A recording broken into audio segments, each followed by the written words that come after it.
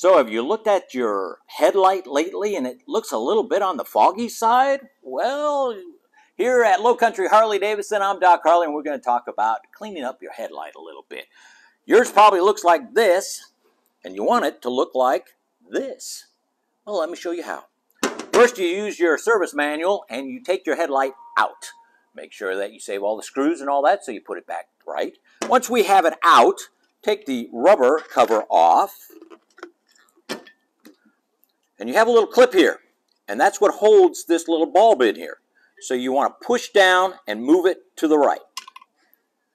It pops up, and you lift your headlight out, and you don't touch this with your hand. You don't want your oils from your fingers to get on that. That will degrade the life expectancy of this bulb. So we're going to put that to the side here, and I'm going to take a Phillips screwdriver and I'm going to take off this bracket here. It's the only chrome bracket on here. You've got your screw here that holds the clamp, and I'm going to undo this part, and I'm going to lift this out. Now that we have those two items out of the way, we've got a pretty good size hole to be working on. Now, what are we going to clean this with? Well, a lot of you would probably say soap and water, but no. We're going to use vinegar. We're going to use vinegar. It works really, really well with this and doesn't leave a residue in. So how much do you put in, Doc? Well, take the cap off. Two capfuls would probably do it.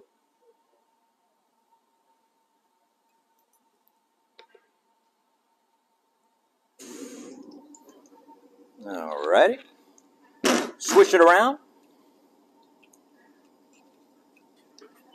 And then you take the cloth and pour out the extra in here. And look, it's already doing some of its job. Now what you're going to need next is something that you can get the cloth in there. I've chosen this paint stir. A lot of you guys have a lot of home stuff around the house and you have maybe a spare this and these are pretty inexpensive at Lowe's or Home Depot. If you're part of a craft store, you can probably get a long Q-tip swab. Now the next thing you need is a sock. Yeah, I'm sure that you guys that are work out there, you've got a few that have a hole in it. So use a sock, or if you're lucky, maybe you can find that little sock that your dog took away from your wife and hid it underneath the couch. That works really good. So you put it on top of the stick, and then put it down into the hole. And then you just go from the outside in. Rotate it around.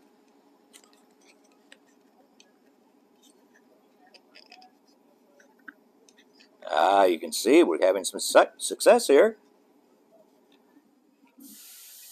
And do that till you've gone all the way around, and you could probably do another path around with a dryer sock that doesn't have the vinegar on it. Then when you're all done, let it air out a little bit. Doesn't take long. Don't have to do it overnight or anything like that. Just wait a little bit. Go on inside, have yourself a cold one. Come on out, back out. Now we're going to reassemble. Remember, don't touch this. And there are three tangs on here, and it has to fit only one way in here, so it fits in the three areas. Okay? Ah, yeah, that's right. I'm glad you guys mentioned it. Got to put this in first, because there's something that it has to clip on. So we're going to put this back in here, line up the holes. We're going to use a screw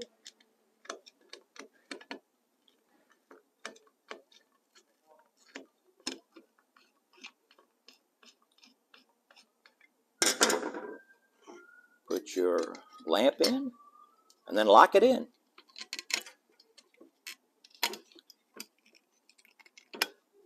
Oh my goodness. There we go. Takes a little practice. All right, now put the rubber boot back on and go on back and put it in your motorcycle. Hope this little tech tip allowed you to see, you can see the bright side of this tech tip with a clear lens. From Low Country Harley Davidson, I'm Doc Harley. We'll see you next week.